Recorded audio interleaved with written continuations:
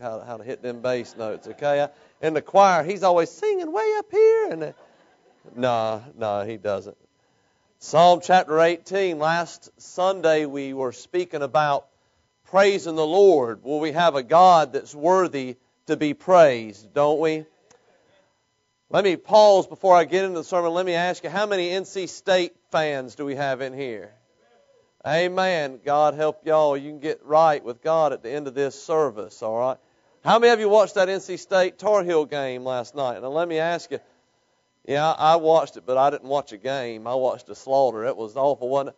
How many of you State fans were getting into that game cheering for it? Anybody cheer? Yeah, you were there, weren't you, Sean?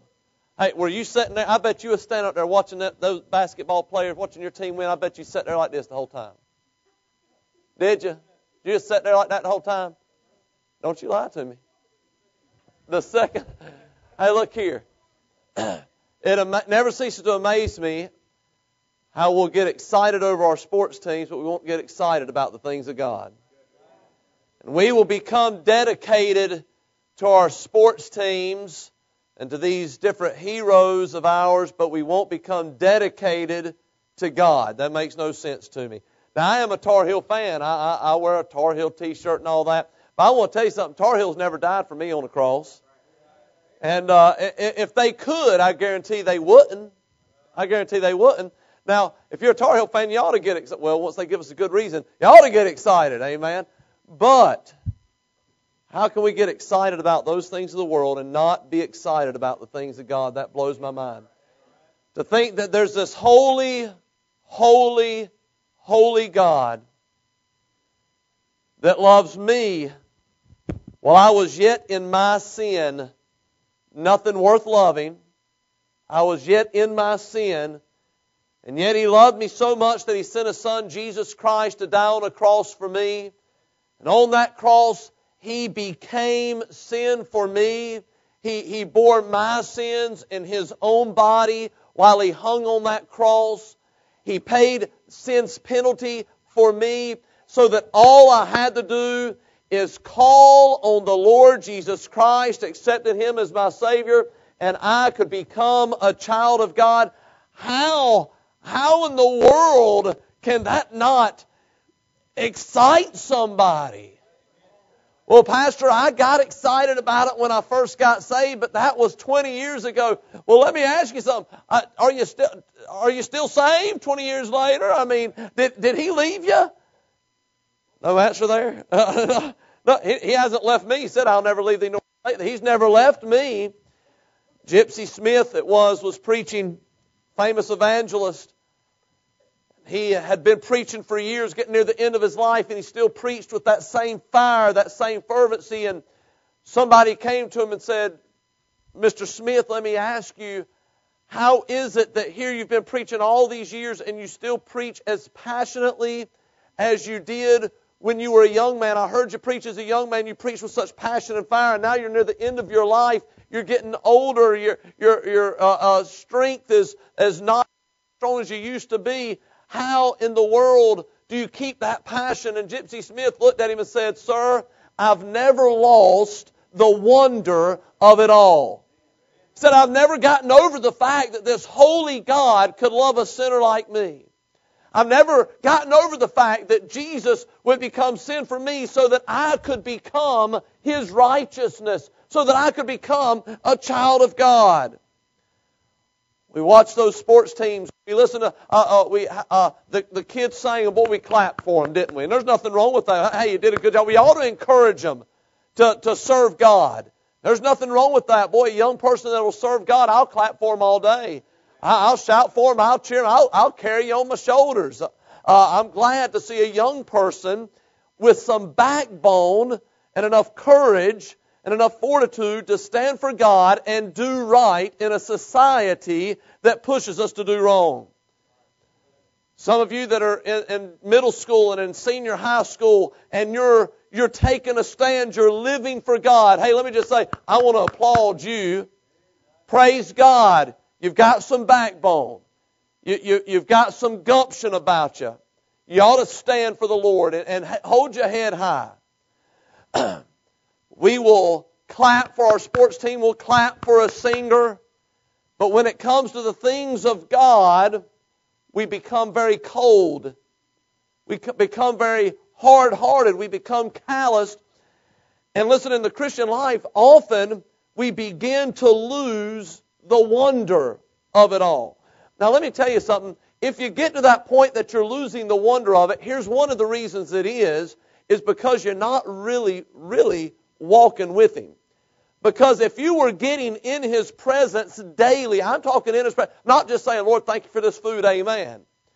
I'm talking getting alone with God, in the presence of God, and seeking His face, and just spending time with Him, personal, intimate time, speaking to God and boy, the holiness of God and the righteousness of God and the love of God and the mercy and the grace of God, as you got closer to Him, you would see that more and more clearly and you wouldn't lose the wonder of it. The wonder would get greater. I trusted Christ as a young man, 13 years old, February 3rd, 1983. I happen to remember that because somebody I want you to write that down. You don't have to remember that day and that time, that specific day uh, by the date. You, all you've got to do is trust Christ. But I remember I trusted Christ that day, and oh man, I, hey, saved. I was excited about that. Well, may I tell you, here I'm 43 years old now, 30 years later, and I'm here to tell you that I'm more excited about being a child of God now than I was then. Uh, I'm glad about five others are. I'm more excited now about being a child of God now than I, I than I was then. You see, I, I didn't understand it all then. All I understood was, hey, I'm saved. Hey, I, my sins are forgiven. I'm taking him at his word. My sins are forgiven. Oh, and boy, over the years, I've learned more and more what it meant to be saved and the glory of it and the wonder. Hey, I'm plumb excited about it. Well, I've tried that Christian life. It just didn't do anything for me. Oh, no, you didn't try the Christian life then. Hey, there's something about living for God. I'm, hey, I'm not talking about just going to church and sitting down when you're supposed to sit down, standing up when you're supposed to stand up, opening the hymn book, sitting down. I'm talking that personal walk with God. There's something exciting about it. There's something about this book right here. The Bible says it's quick and powerful. That word quick there doesn't mean fast. It means alive. This is a living book. There's something about this book right here that doesn't grow old. Hey, I have no idea how many times I've read this book all the way through. I, haven't counted. I have no idea how many times. But I do know this. I can read through it and still see things that I did not see the first time that I read. It jumps off the page. Sometimes it's almost like God grabs me by the shoulders and says, Hey, look there, Ronnie. Well, from this book, I still get comfort. From this book, I still find a source of joy. From this book and in the presence of God, I still find the, the direction and the guidance that I need. in Psalm chapter 18, verse 3, we spoke last week about praising God and how that it's comely to praise God. It's appropriate, the Bible says, to praise God. In Psalm chapter 18, verse 3, David said, I will call upon the Lord who is worthy to be praised, so shall I be saved from mine enemies. That is also quoted in 2 Samuel chapter 22 as David sings. He says, And David spake unto the Lord the words of this song in the day that the Lord delivered to him out of the hands of all his enemies and out of the hand of Saul. And he said, Now listen to this song he sings. The Lord is my rock and my fortress and my deliverer, the God of my rock. In him will I trust. He is my shield and the horn of my salvation, my high tower and my refuge, my Savior. Thou savest me from violence. I will call upon the name of the Lord, or will call upon the Lord who is worthy to be praised. So the Bible tells us He's worthy of that praise. Now, what does that praise mean? We talked about last week. It means to brag on. It means to lift Him up. It means to exalt Him. And the Bible says that we are a people, we ought to be a people that praises God, that lifts up Jesus Christ before this world. we talked about last week, you read the Word of God. The people of Israel, when they were right with God, they praised God. Listen, it was not just an inward thing. They were very demonstrative with their praise. We saw that in praising God, they would sing praises to God. We saw that they would shout praises to God. They would, uh, Psalm 47 1, oh, clap your hands, all ye people. Shout unto God with the voice of triumph. Sometimes they praised Him in the dance. And I'm like Brother Rouse, I don't know what dance it was they were doing, but I want to find out so that I can do some of that. It won't be the twist, it won't be the jerk, the mashed potato, the cabbage patch. But they, they praised Him in the dance. They praised him with their music. They praised him in the congregation. They praised him at all times, the good and the bad. They rejoiced in the Lord. They praised him in all places. And that praise was demonstrative. They were telling people, hey, look, we have a great God. Man, we'll cheer about everything, won't we? Except Jesus. Somebody say, are, are, you, are you a Christian? Oh, well, uh, yeah, yeah, yeah, yeah, sure, I'm a Christian. Hang our head? What in the world? How, how, would you feel? How would you, let's see, George, how would you feel if somebody came up to you and you were standing kind of back and, and they said, hey, are you his wife? And she said, well, yeah, I guess I am. Uh, you know, uh, it's already happened, hasn't it, George?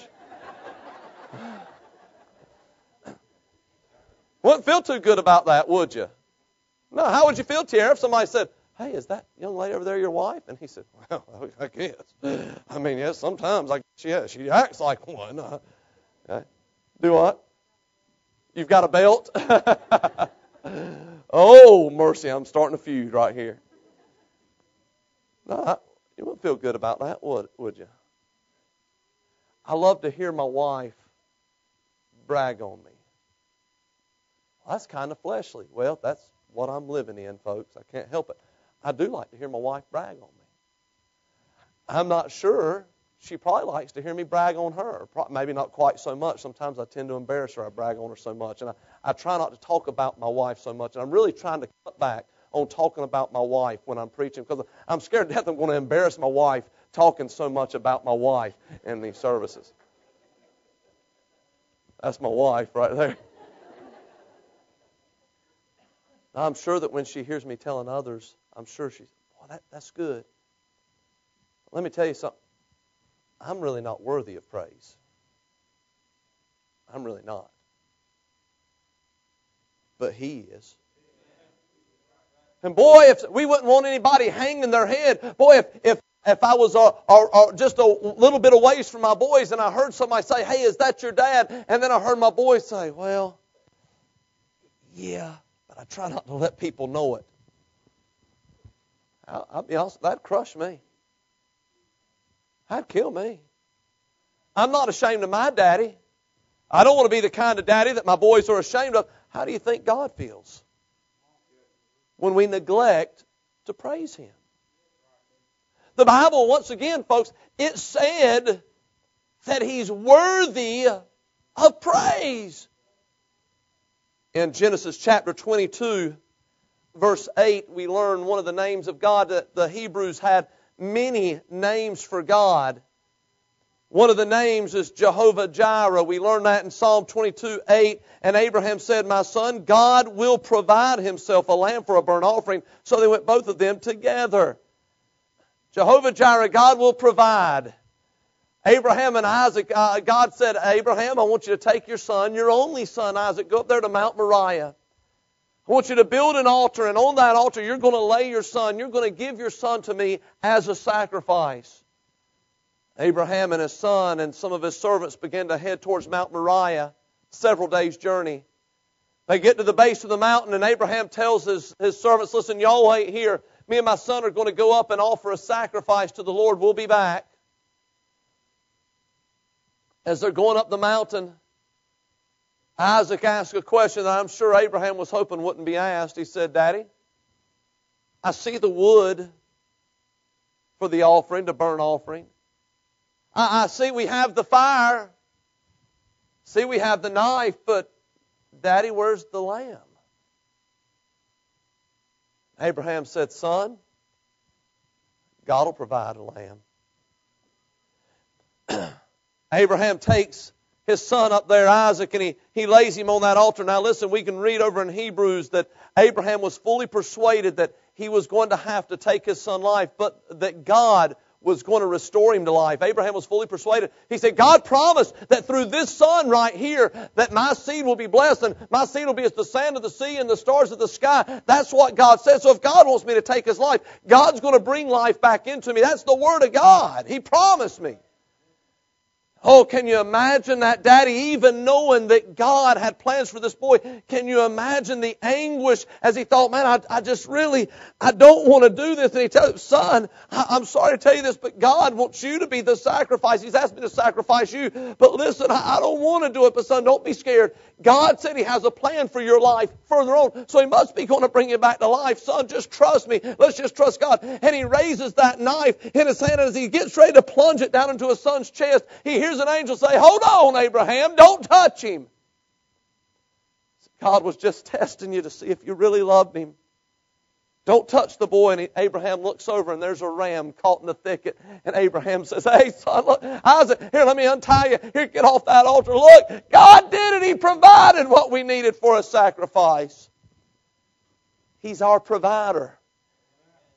See, we were lost in sin Nothing we on our own could do to merit salvation. No way we could be righteous enough to get to heaven. And so God says, listen, I, they need a payment to be made for them, an everlasting payment. And here's what I'm going to do. I'm going to provide my son as the propitiation, the substitute, the payment for their sin. And Jesus hung on that cross for us and He bore our sin in His own body. He became sin for us. He paid sin's penalty for me. God provided access to heaven through Jesus Christ. Hey, if that's all He did, that's worth praising Him for, folks. Hey, that's worth every once in a while clapping for God. That's worth every once in a while saying, Hallelujah, God, you're a great God. That's worth singing about Him. That's, I saw old Bill Burr one time. I saw him praise God in the dance up at pastor school. Oh, Bill Burr, he's a big man. He's probably 350, 400 pounds. West Virginia boy. And man, he could sing. And man, we was up there at pastor school and, and this choir got to singing about the Lord and it got good. And old Bill Burr, he's probably in his 60s, getting close to 70. He stood up real slow and oh, he was so excited in the Lord. He clapped his hands and he was smiling. And next thing you know, he started. That's all he could do, that old man. But he was so excited, the best he could, he was praising God in the dance. Brother Hugh, I'm waiting to see you do that. He's our provider.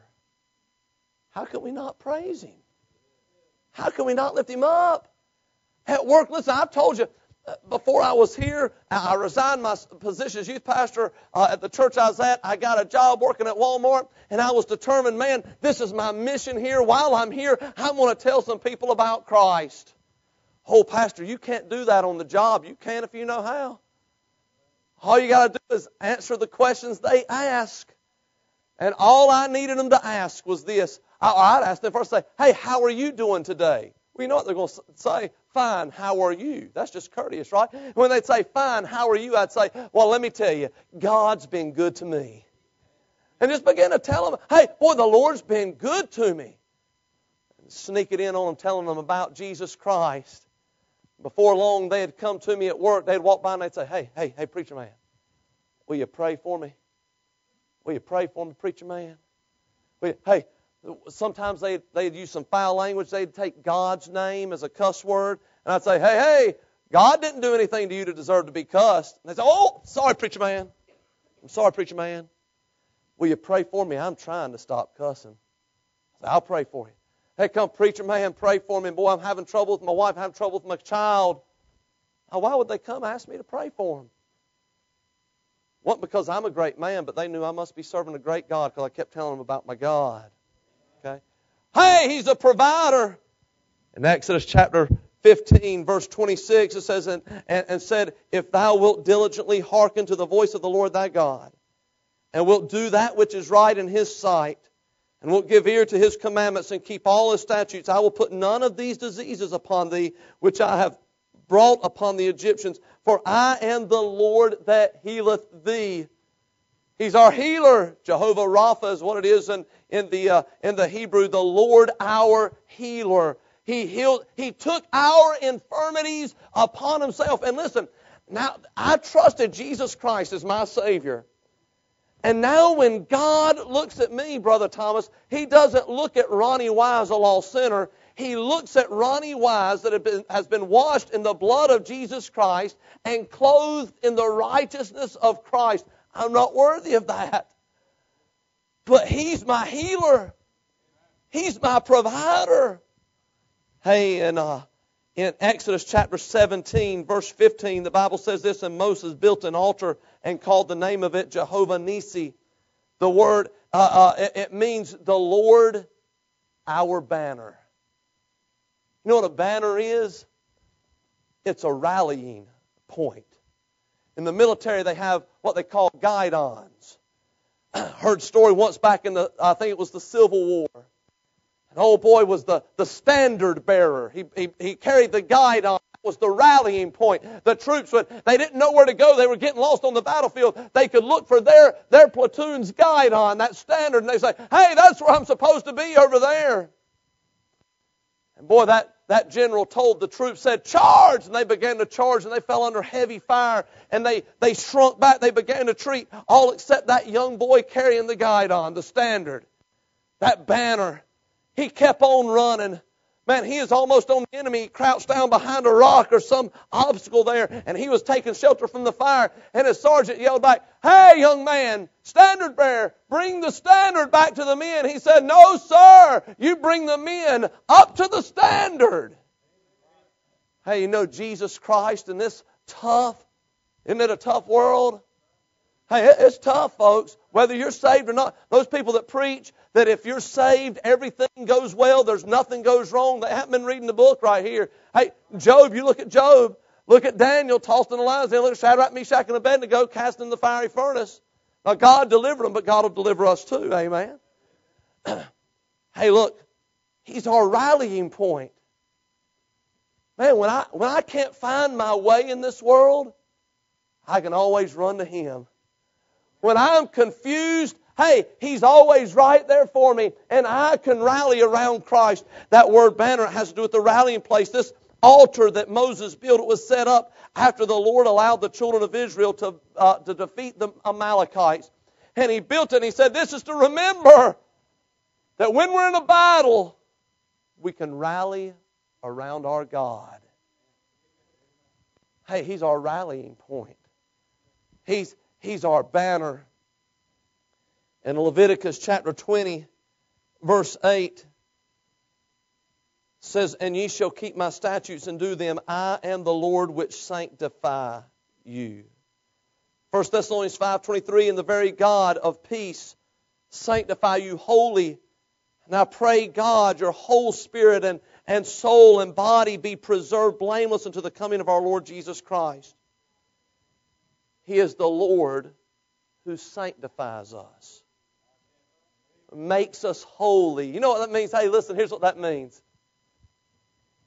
He sets us apart for Himself. When I trusted Christ as my Savior, and if you trusted Christ as your Savior, He sanctifies you. He says, okay, look, you're no longer part of the world. You are mine. The Bible says He cleanses us from all unrighteousness. That's not because of how good I am, it's because of how good God is. He sanctifies me. And boy, I try to give myself to Him and say, Lord, I want to live a holy life. But listen, I cannot do that on my own. I can only do that through the power of the Holy Spirit of God. In Judges chapter 6, verse 24, the Bible says this Then Gideon built an altar there unto the Lord and called it Jehovah Shalom. Unto this day, it is yet an Ophrah of the Abiezrites. Jehovah Shalom, it means this the Lord is our peace. Boy, now isn't that good? The Lord is our peace. Let me give you a little picture of that. The, the disciples and Jesus were out in the boat on the Sea of Galilee. Boy, that, the wind starts to whip and the waves start to churn in that boat. It's being tossed up and down in that, in that Sea of Galilee. Water's coming in over the side. The disciples get a little nervous. Like, hey, well, we're going to drown. And the master, he's down in the belly of the boat. He's asleep. And they run down in the belly of the boat and they wake him up. Master, do you not care that we perish? He said, Oh, ye of little faith. He walks out there, stands on the edge of that boat. He looks out and he said, Peace, be still. And the wind ceased to blow, and the waves laid down at the foot of the boat. And there was peace. One of the things everybody in this world looks for, boy, I just want some peace. I just want some peace in this world. Boy, Pastor, I'm going through a storm. If I could just have some peace. Pastor, I'm going through a deep valley. I'm, I'm going through some deep waters right now. And boy, my life is in turmoil and it seems like one wave after another is hitting me. He's our peace. I saw a, a painting one time, or I, I, I, saw a picture of the painting. I didn't see the painting in person. It was a picture of a painting. The name of the painting was Peace. And you look at that painting, and it was a it showed a, a, a, rock face, a cliff on the edge of the ocean, and, and man, there was a, a, a harsh storm in the ocean. The waves were high. And over, there was a boat out there, and there was a lighthouse, and, and the waves are going over the boat. And man, it's just an awful scene. There's lightning coursing through the sky, and you can tell the wind's blowing. It's raining almost sideways. And if you look at that rock face, back at there's a there was a little cleft in the rock a little inset in the rock, and in that inset there was a little dove.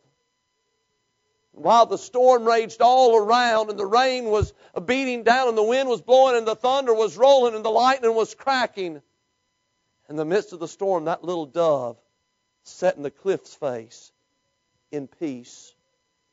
That's exactly, listen now, that's exactly what God does for us, isn't it?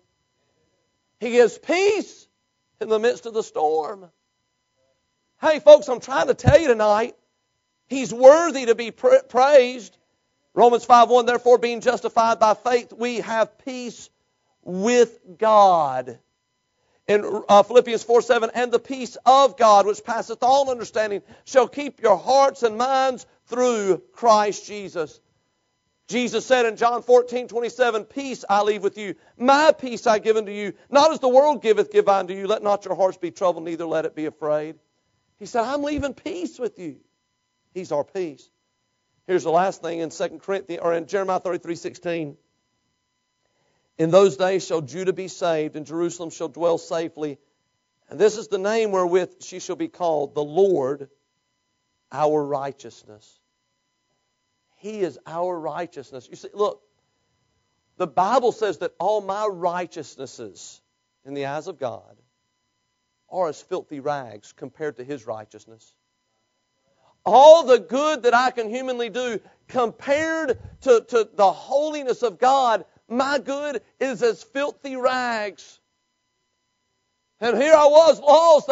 oh God, I, I don't want to go to hell. What are we going to do? Once again, as I said earlier, He sent Jesus Christ. And when Jesus became sin for us, boy, what a great exchange right here. He became sin for us so that we could become righteousness in Him. How did that happen? Through Jesus Christ. Through Jesus Christ. I, have got three people awake in here. I'm so glad y'all are with me